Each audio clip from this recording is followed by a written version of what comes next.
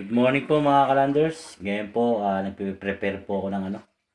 Lutuin ko para mamaya. Ayan po, laking isda mga kalanders. Oh.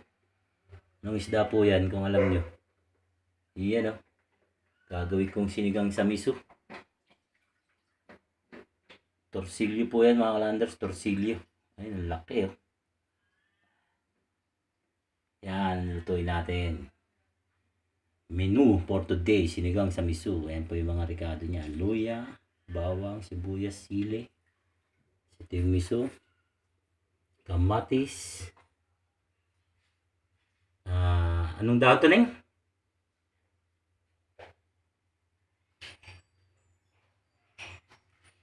Mustasa. Punti ka ko pa makalibutan. Dahil ng mustasa. Ayan po ang menu for today ni Landers. Sinigang sa miso na torsilyo.